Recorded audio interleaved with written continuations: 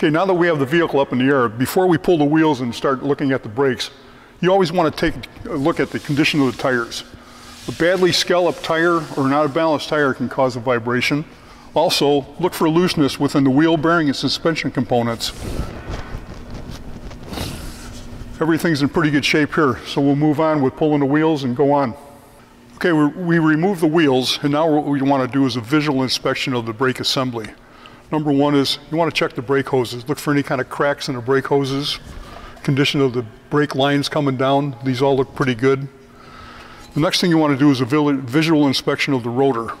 The surface area of the rotors. Surface area looks good, but I can see that this also has a huge rust ridge on it. We'll check the thickness, uh, minimum thickness for discard on this rotor. The other area you want to check is the cooling vanes in this area. Make sure they're not packed with any kind of rust or mud. Let's take a look at this rotor and we'll check the minimum thickness of the rotor. And we are well under the minimum thickness of the rotor, so this rotor is going to have to be replaced. The other tool that's very nice is a gauge for checking pad thickness. You slide this tool in between the rotor and the pad and you can see what kind of life you have on the pad.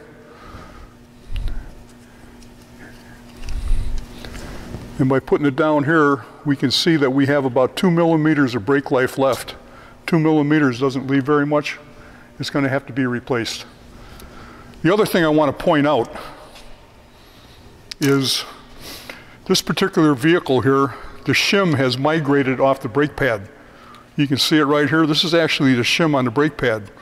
And this shim has contacted the rotor hat and is starting to cut a groove in the rotor hat. If this would have continued to drive this way, eventually this shim would have cut that rotor in half and the braking surface would have come disengaged of the rotor hat and you would have lost braking on this side.